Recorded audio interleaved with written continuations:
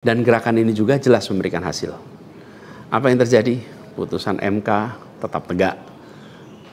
DPR dan KPU harus mengikuti. Dan di banyak daerah ada calon-calon yang diinginkan publik yang tadinya ditutup jalannya kemudian terbuka. Kenapa? Karena elitnya dipaksa oleh konstitusi untuk memberikan jalan. Dan ini adalah sebuah kesempatan untuk kita memperbaiki kualitas demokrasi dan harapannya nanti mutu pemerintahan di seluruh wilayah Indonesia. Jadi kemudahan yang disediakan oleh MK ini bisa dimanfaatkan.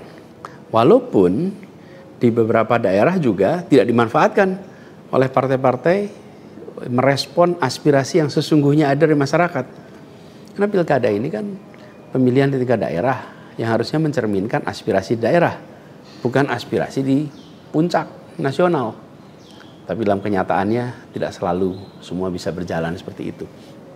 Nah, gerakan masif mengawal putusan MK di berbagai kota ini juga menunjukkan bahwa tidak benar bila rakyat Indonesia disebut sudah apatis, sudah tidak peduli pada kondisi demokrasi. Nope, sama sekali tidak. Harapan itu menyala, harapan itu menyala terang, dan insya Allah makin terang.